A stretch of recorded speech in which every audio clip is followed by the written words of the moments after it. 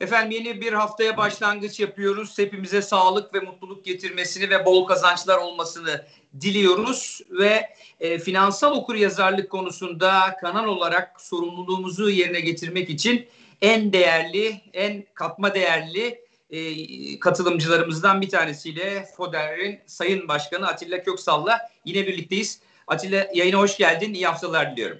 Hoş bulduk Artunç. Ee, ben de iyi haftalar diliyorum. Bu arada yayına başlamadan e, seni bir tebrik etmek istiyorum. Çünkü burada gerçekten çok değerli e, kişileri e, çıkartıyorsun. Yani Atilla Yeşilada, Murat Sağman, Cüneyt Paksoy, efendim Emre Alkin gibi. Mesela geçen gün Erhan Aslanoğlu değil mi? Yani böyle ekonomistler Tabii. ve piyasayı yakından bilenler.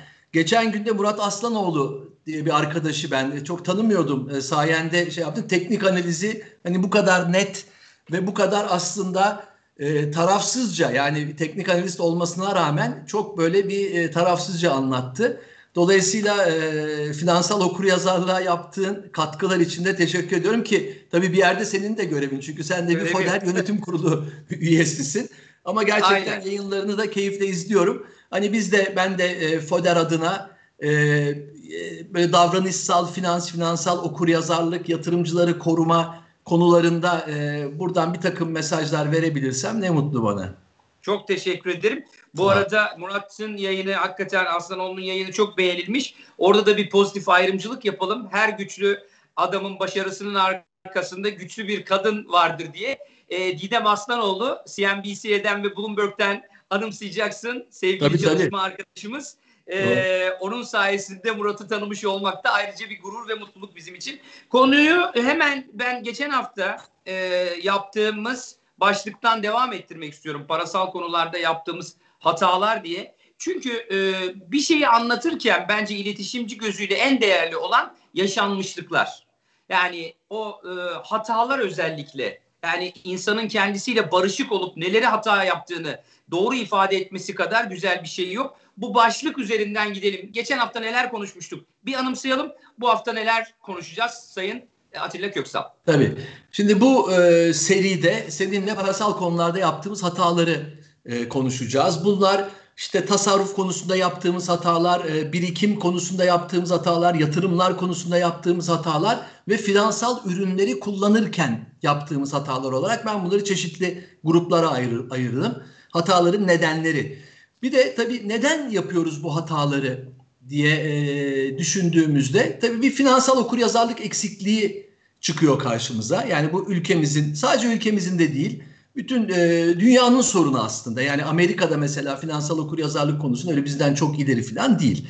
E, finansal okuryazarlık bir sorun. Bir de e, duygusal, sosyal ve bilişsel faktörler var bize hata yaptıran.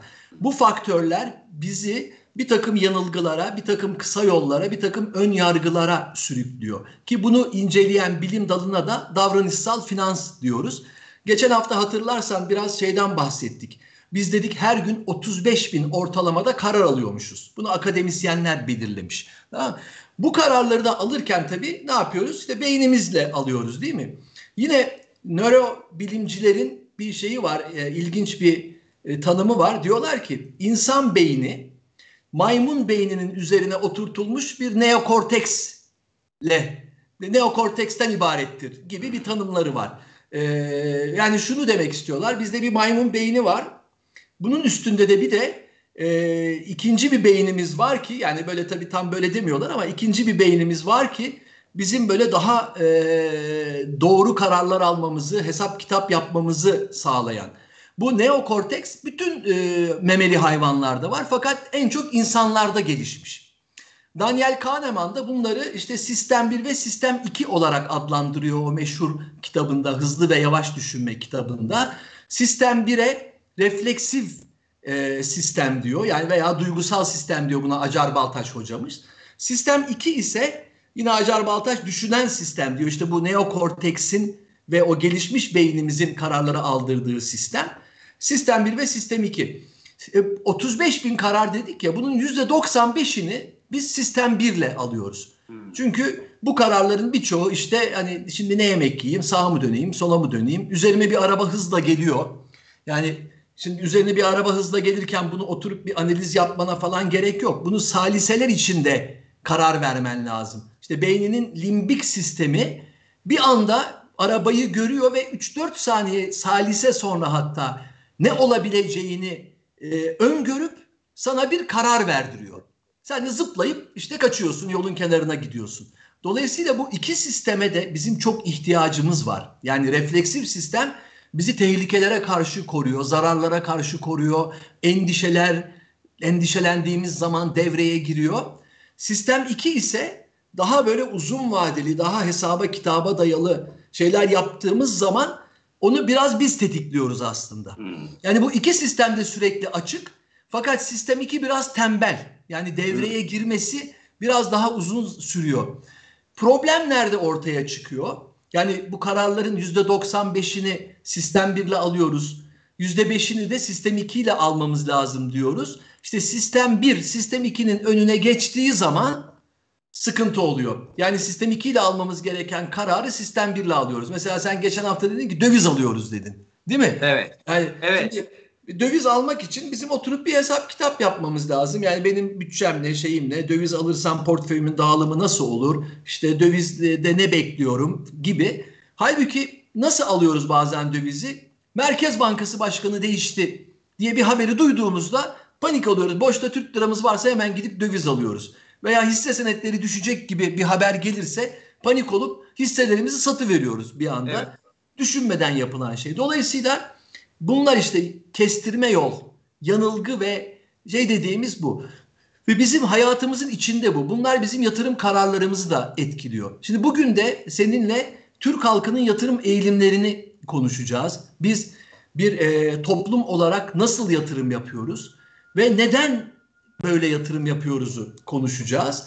E, bir de tabii biraz da güncel konulara değineceğiz. Özellikle son zamanlarda işte hisse senedi yatırımları ve kripto para yatırımları, işlemleri çok e, popüler oldu. Bizi bunlara yönlendiren etkenler nedir? Neden biz bu piyasalarda şu anda davrandığımız gibi davranıyoruz? Normalde nasıl davranmamız lazımı e, biraz konuşacağız. İstersen şöyle bir toplam hane halkı e, varlık dağılımına bir bakalım. Bu evet, yani insanlar nerelere ne kadar para yatırıyorlar ve burada nasıl karar alıyorlar konusu önemli. İlk bölümde esasında anlattığından e, kısaca şunu anladım. İnsan doğan görünümlü Şahin esasında. yani çok güzel. Maymun beyninin üstüne bir tane daha sistem atmışlar. Havaya girmişiz ve çoğu zaman da maymunlar yatırım yaptığı zaman portföy yöneticilerinden daha başarılı olabiliyorlar. Bu çünkü biz de maymundan üstün olan yanımızı kullanmadığımız için o yüzde beşlik karar vermemiz gereken şeyi kullanmayınca maymundan farkımız kalmıyor. Deyim yerindeyse affedersiniz piyasalar bizi maymun ediyorlar. O Doğru. yüzden demek ki biraz daha bu vermiş ya Allah bize beyin biraz daha onu daha fazla kullanmak lazım. Peki hane halkı beynini kullanırken belli alışkanlıkları var herhalde. Bu alışkanlıklar neler? Rakamlar neyi gösteriyor? Tabii. Şimdi şunu da söyleyeyim tabii. Hani bu klasik ekonomistler diyorlar ya insan çok rasyoneldir, her kararı rasyonel alır. İşte davranışsal finansçılar da senin dediğin gibi hani Doğan görünümlü Şahin. Ya bu maymun beynimiz bizim maalesef öne çıkıyor. Türkiye'de tabii çok enteresan bir ülke. Yani Türkiye 30 yıl boyunca yüksek enflasyon ortamından geçmiş bir ülke. Ve 1970'li yıllardan 2000'li yılların başına kadar ortalama enflasyon 30 yıl boyunca yüzde 49 olmuş. Yani yüzde 49 yıllık ortalama enflasyon yaşamışız. Bazı yıllar yüzde 140'a çıkmış, bazı yıllar yüzde 20'lere 25'lere düşmüş. 20'ye 25'e düşünce oh demişiz, rahatladık, çok düştü. Halbuki dünya standartlarında eşi benzeri görülmemiş enflasyon oranları bunlar. Dünyada böyle ikinci bir ülke daha yok. Bir tek Türkiye. Yani 30 yıl boyunca böyle yüzde 50'ye yakın buna strato enflasyon diyor ekonomistler. Strata enflasyon ortamında yaşamış ikinci bir ülke yok. Sadece Türkiye. Dolayısıyla bizim bütün bu jenerasyon, benim jenerasyonum işte benden sonraki jenerasyon, bizden önceki iki jenerasyon, bizden sonraki iki, hepimiz bu enflasyon ortamında e, hayata başladık. Enflasyon ortamında iş hayatımıza başladık. Enflasyon ortamında iş yapmaya çalıştık, şirket kurmaya çalıştık, şirket yönetmeye çalıştık. Müthiş böyle zigzaklı acayip bir dönem. Bunun üzerine de Bir de bir sürü kriz yaşadık. Rusya krizi, Asya krizi, Körfez krizi böyle 80'li 90'lı yıllarda. Daha sonra 2000'li yıllarda bizim yaşadığımız müthiş tabii şey krizi, bankacılık krizi, 2008 yılındaki kriz. E şu anda da bir finansal krizin içindeyiz. Bunun yanı sıra sayısız terör olayları gördük. Yani sayısız terör olayları. Darbeler gördük, darbe girişimleri gördük. E, efendim e, salgın hastalık gördük tabii çok yeni. Değil mi? Evet. E, depremler gördük. Yani sürekli hayatımızda bir takım olaylar oldu. Bunlar tabii her yerde oluyor ama Türkiye'de bunların biraz e, boyutları daha yüksek oluyor ve daha sık oluyor. Dolayısıyla bütün bunlar Türkiye'yi bir davranışsal finans laboratuvarı haline getirdi. Çünkü hepimiz geçmişten kalan işte korkular e, yani o maymun beynimizde hep böyle bir ürkeklik var. Ya şöyle kriz olmuştu ben paramın yarısını kaybetmiştim. Borsada zarar etmiştim. İşte döviz almıştım döviz düşmüştü. Döviz satmıştım döviz çıkmıştı gibi. Bunlar hep böyle bizim genlerimize kadar işlemiş durumda. Şimdi bu haleti ruhiyede olan bir toplumda nasıl yatırım yapıyor? Şöyle bir hane halkı finansal varlıklarının dağılımına bakarsak ya böyle e, finansal sistemde olan kısmın işte yaklaşık bu hane halkı rakamları 110 ee, milyar dolar gibi bir miktar Türk lirası mevduatta var. Bunlar Eylül 2020 rakamları. Bu Merkez Bankası'nın e, bir e, düzenli verdiği bir e, rapor var. Oradan alınma. Yenisi de çıkacak yakında ama böyle çok büyük değişiklikler yoktur. Yani 3 aşağı 5 yukarı yüzdesi olarak böyledir. Yani e, toplam varlıkların... Kaç milyar dolar dediniz? 110 milyar dolar. 110 milyar dolar civarı. Artı eksi. Tamam. Yani çok az tamam. oyna. Bu yaklaşık üçte biridir. Sistem içindeki okay. e, finansal varlıkların üçte biri Türk lirası mevduatta. Bankalardaki Türk lirası mevduatın vadesi de işte sen de 34 gün ben diyeyim 36 gün. Yani bir ayın biraz üzerindedir. Evet. Çok az üzerindedir. Bunu bankacı arkadaşlar biraz daha iyi bilir. Arasak buluruz da. Ee, gene yaklaşık bir 105 milyar dolar civarında bir rakam. Burada şirketlerinki yok dikkat edelim sadece hane halkının şeyi. E, o da döviz e, mevduatta. Hatta döviz böyle biraz e, ondan sonra biraz daha da öne çıktı. Sonra biraz hane halkı sattı işte gene 3 aşağı 5 yukarı burada. Yani o da neredeyse üçte bir civarında. Tamam. Altın sistemdeki altın 30 milyar dolar civarında. E, o da yüzde dokuz gibi ediyor. Evet. O tarihte Eylül 2020'deki hisse senedi oranı %7 civarında toplamın. Bireysel emeklilik fonları da %6 civarında. Artı bunun üzerine finansal sistemde e, finansal sistem dışında olan bir miktar da var. E, bunun tam tabi şeyini bilmiyoruz. E, tam bilmiyoruz ama işte tahmin ettiğimiz zaman e, 100 milyar dolarla 150 milyar dolar arası bir rakam olduğunu söylüyoruz. 200 olabilir diyenler de var. Bunu yastık altında saklanan döviz ve altının şeyi bu. Tutarı. Evet. Ee, bunu hesaplamak için de bazı metodlar var ama ona girmeyelim şimdi. Dolar da bunun için. Şimdi bunu da kattığımızda 100-150 milyarı da katınca tepeden bakınca şöyle bir görüntü oluyor. Bizim toplam birikimlerimizin yarısı neredeyse döviz ve altında. Bunun e, işte bir kısmı bankacılık sisteminde bir kısmı değil. Yaklaşık dörtte biri Türk lirası mevduatta kayıt dışı içine girdiğinde e, hisse senedi sadece yüzde beş gibi e, emeklilik fonları yüzde dört gibi yani kısa vadeli ve tamamen krizlere karşı e, şartlanmış krizlere karşı korunmak amaçlı bir portföy bu. Kötü bir portföy aslında. Ve ne zaman kazanıyor? Sadece Türkiye'de kriz olduğu dönemlerde bu portföy kazanıyor. Çünkü döviz ve altın yükseliyor ve Türk lirası kısmında da faizler yükseliyor. İşte daha iyi getiri elde etmeye başlıyor. Tabii Türk lirası kısmında dolar yükseldiği için dolar bazında zarar ediyor. O yüzden zaten genelde dolar ağırlıklı. Yani ve ekonomiye de hiçbir faydası olmayan, çok az faydası olan bir sektör. Yani bankacılık sektöründeki pasiflerin hane halkı e, portföyünden gelen pasiflerin vadesi işte bir ayın biraz üzerinde. E şimdi benim bizim bankacı arkadaşlarımız da bunları alıp kredi olarak verecekler uzun vadeli de ekonomiye bu kaynak olacak falan. Çok zor bir iş. Yani o yüzden bizim bankacı arkadaşlarımızı ben gerçekten çok takdir ediyorum. Çok zor bir iş yapıyorlar. Çok kısa e, pasif yapısıyla e, bankacılık yapmaya çalışıyorlar. Görüntü bu.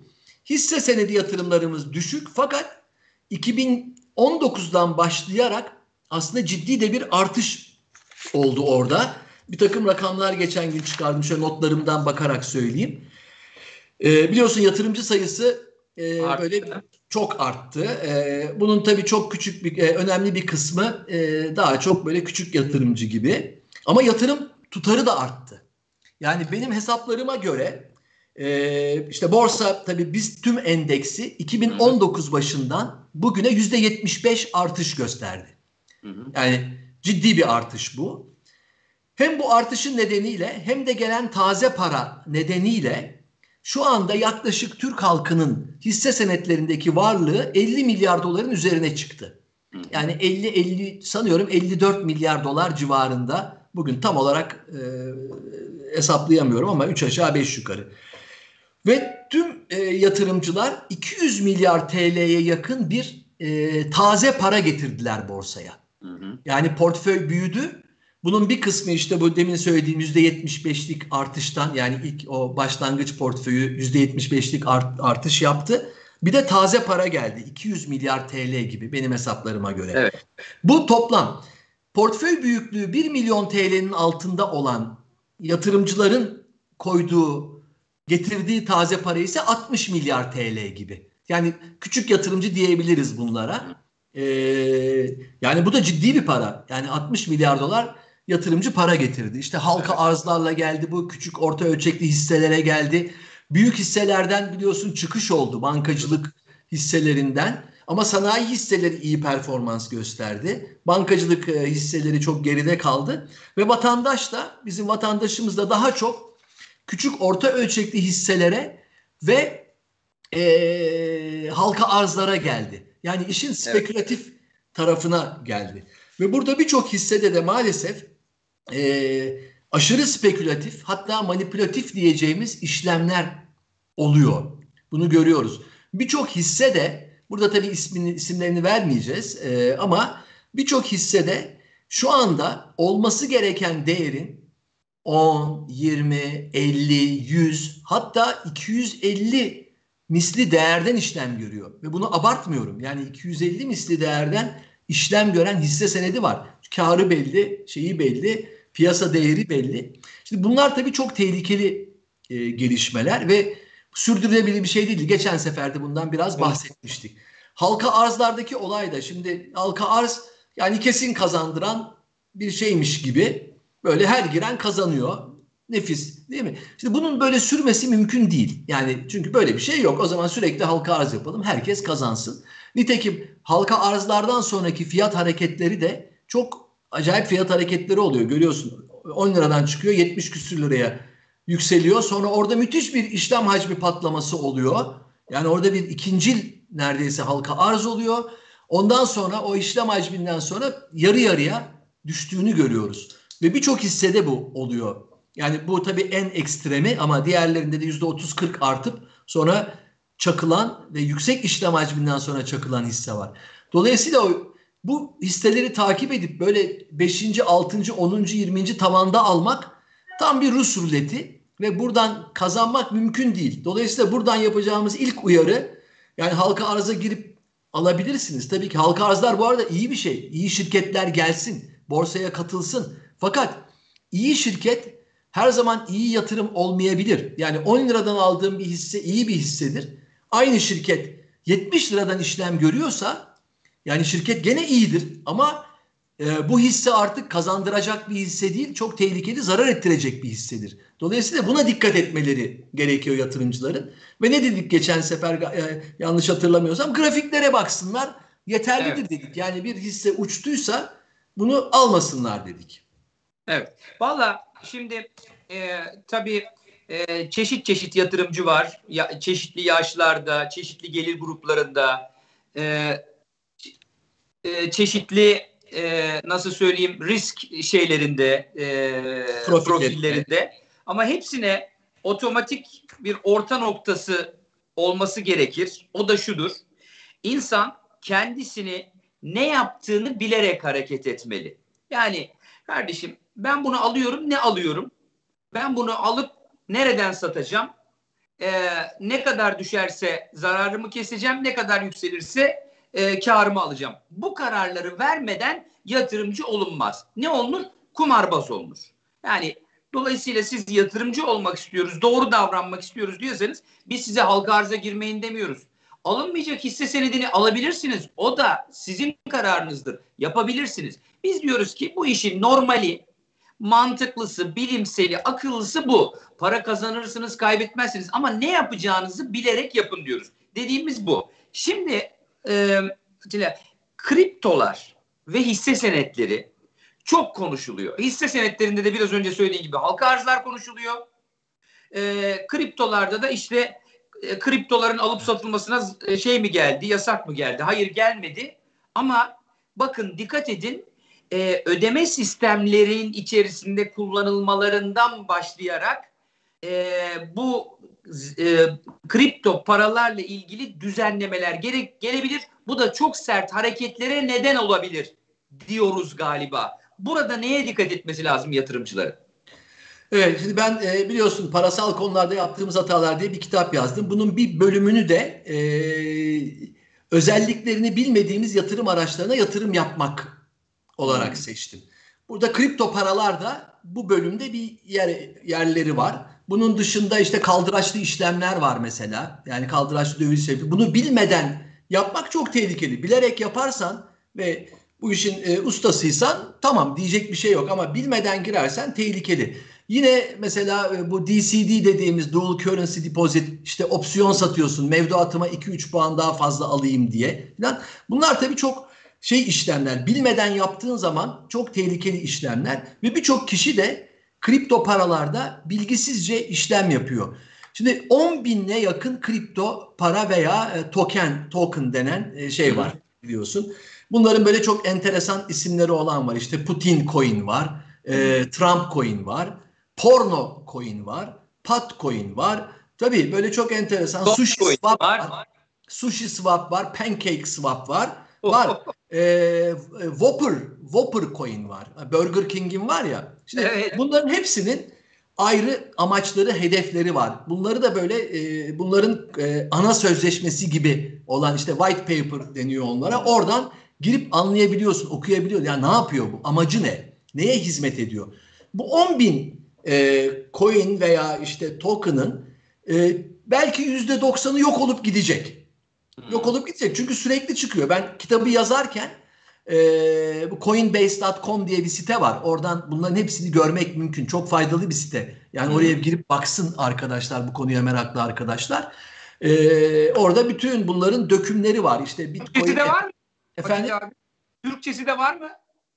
Ha, Türkçesi e, maalesef yok ama zaten çok grafiksel bir şey bu. Yani orada böyle şeyleri görüyor. İşte Bitcoin'in piyasa büyüklüğüne, şeyine falan yani çok basit herkesin anlayabileceği bir şey. Pazarın büyüklüğüne, toplam günlük işlem hacmine, kaç tane coin var ve hepsini sıralıyor. Ee, bazıları çok küçük bunların. Ee, işte günlük hareketleri de görüyor, grafikleri de var. Süper bir site. Şimdi ondan sonra da tabii ha şeylerin mesela bu white paper dedim yani özelliklerini anlatan onların Türkçeleri var. Yani birçoğunun tamam. Türkçesi var. Evet. Orada girip göre hepsinin olduğunu zannetmiyorum tabii ama büyüklerinin ben girdim baktım hemen hemen hepsinin var. Şimdi buradan anlayabilirler. Çünkü bunların bazıları gerçekten çok enteresan e, amaçlara hizmet ediyor. Çok enteresan ve sektörel etkileri olabilecek şeyler. Yani sadece bir para birimi olarak bunları görmemek lazım. Mesela ben eskiden çok şeydim, çok ön yargılıydım kriptolara karşı ve herkese yani bunlar kumar falan diyordum. O ön yargım değişti. Ama eğer ne yaptığını bilmeden alım satım yapıyorsan hala çok hala kumar. Ama borsa için de bunu söylüyorum. Yani hisse senetleri için de ne yaptığını bilmiyorum. Döviz için de öyle. Yani dövizde de şimdi sen sağdan soldan duyduğun şeylerle dolar 8,5 lirayken e, yapışırsan e, o da bir kumar aslında. Böyle sonra izlersin işte 8 liraya geldiğini filan. Onun için kendinizi diyorum hep bu konularda eğitim. Mesela Dün akşam Fatih Altaylı'nın bir programı vardı. Orada 3-4 tane çok gerçekten e, işin uzmanı kişiler vardı. Mesela Erkin Şahinöz vardı. Sonra Özgür Demirtaş katıldı. E, iki üç hocamız daha vardı. Kusura bakmasınlar isimlerini hatırlamıyorum. Bir hukukçu arkadaşımız vardı. Hepsi birbirinden bilgili. Bir kere bunları bu tür şeyleri dinlemek lazım. Bir kitap tavsiye edeyim. Biz Foder Kitap Kulübü'nde biliyorsun her ay bir kitap dinliyoruz. Şöyle göstereyim. Burada e, Vedat Güven ve Erkin Şahinöz'ün birlikte yazdıkları bir kitap bu. Blok zincir, kripto paralar ve bitcoin diye. Gerçekten Türkiye'de yazılmış ve Türkçe bir kitap. E, dört dörtlük bir kitap. İşin hem teorisi var hem pratiği var. E, aynı zamanda Storytel'de bunun sesli kitabı da var. Hani kitap okumaya üşenenler tabii sesli kitap için biraz e, okuması kolay değil. Çünkü böyle çok şemalar ve şeyler var içinde ama mesela bu kitabı okuyan birisi konu hakkında detaylı bilgi sahibi olur. Sonra e, sosyal medyada da bu konuda çok şey var. Yani çok konu işte Özgür Demirtaş hocanın mesela bir tane çok güzel böyle e, anlatan e, güzel grafiklerle falan bir konuşması var. E, bunun gibi eminim yani Google'lasalar arkadaşlar birçok YouTube konuşma bilmiyorum senin programda da belki kripto paraya yönelik bir şey yapmışsındır ya da yapacaksındır. E, yani bunları okurlarsa bilgili olarak yani ne aldıklarını bilerek yaparlar. Gidip Dogecoin falan böyle bir amacı olmayan garip bir e, şeyi alacaklarına belki Ethereum gibi, e, Ripple gibi yani amacını bilerek yani gene bunlar yatırım tavsiyesi falan değil. Yani ben bunu söylüyorum diye kimse de şey ben de bu konunun çok uzman olduğumu falan da iddia etmiyorum. Benim sadece söylemeye çalıştığım şey hani bunlarda da ne aldığınızı bilin, bilerek alın. Ee, tabii riskleri de bilin ve her gün alım satım yaparsanız ne aldığınızda önemi yok. Onu da söyleyeyim. Yani eğer her gün burada alım satım yapmaya geldiysen hisse senetleri için de bu geçerli. Yani en iyi, en ucuz hisse senedini alabilirsin. Fakat bunu her gün alım satım yapıyorsan her gün sen bu arenaya algolara karşı yani algoritmik işlem yapan duygusuz ve her an bütün bilgileri alan e, sistemlere karşı bir tane Artunç bir tane Atilla Sabah çıkıyorsun. Böyle kuş gibi bilginle bildiğin işte sınırlı sana gelen bilgiyle. Bildiğini işte, sanıyorsun de. Efendim? Bildiğini sanıyorsun bir de. Çok bildiğini sanıyorsun ya. Çok bildiğini şeyi... sanıyorsun. E maymun Tabii. beynin aşağıda duruyor. Maymun beynin sana sürekli bir şeyler söylüyor. Abi sat, abi al bilmem ne. Ha, Halbuki aynen. karşında duygusuz bir algoritma var. Ona onda maymun falan yok. O müthiş bir şekilde programlanmış. Her türlü bilgi zaten ona çok hızlı gidiyor. Artı senden çok daha iyi piyasadaki alımları, satımları görüyor, trendleri inceliyor ve anında senden çok daha hızlı satış veya alış yapıyor.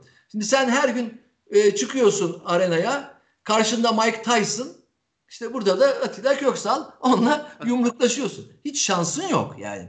Artı senin duyguların e, demin de söylediğim işte bu e, kısa yollar şeyler sana sürekli seni bir yerlere itiyor. Sana hata yaptırmak yönünde seni e, şartlandırıyor.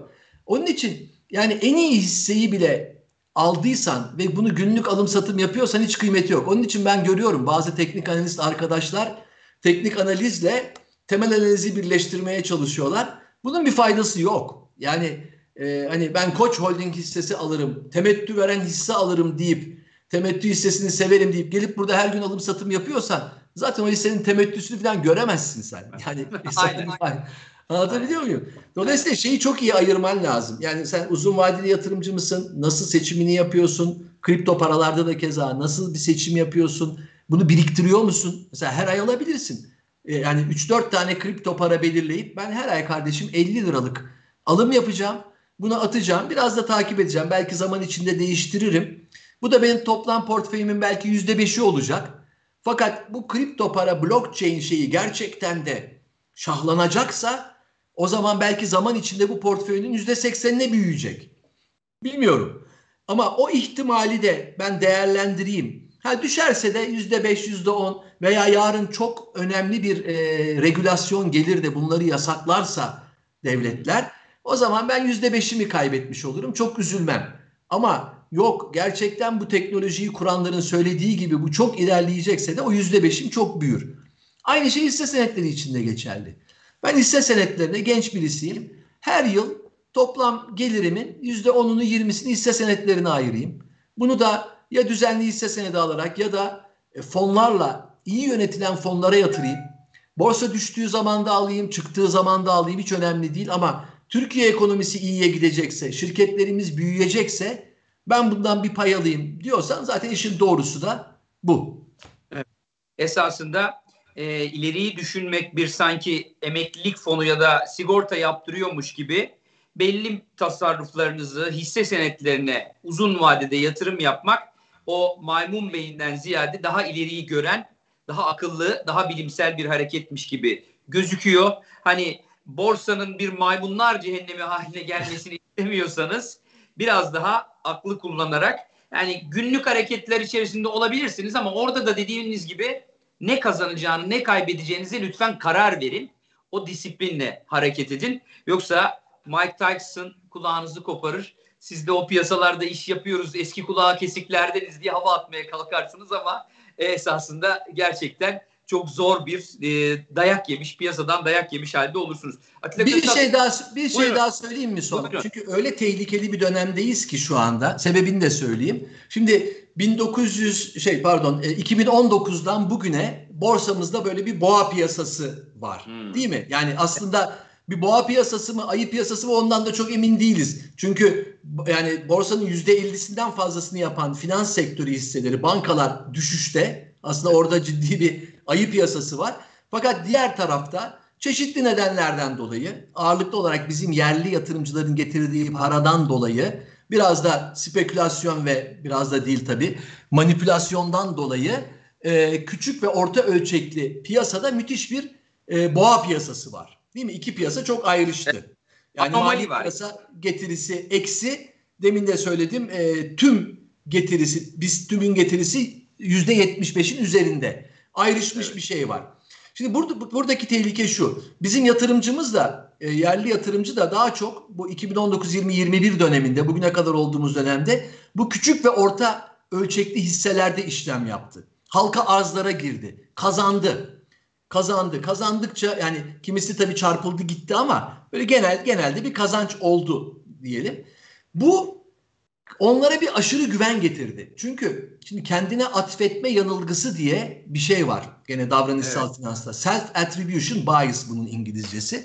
Bu tehlikeli bir yanılgı. Çünkü ben teknik analiz öğrendim. Ya ben bu hisse senedi işini öğrendim. Bak kazanıyorum, alıyorum, satıyorum. Halka arıza giriyorum. Yüzde otuz üstüne satıyorum. Ben bu işi iyi biliyorum. Aynısı kripto paralarda oldu. Kripto paralarda da son bir yılda müthiş bir rally yaşandı.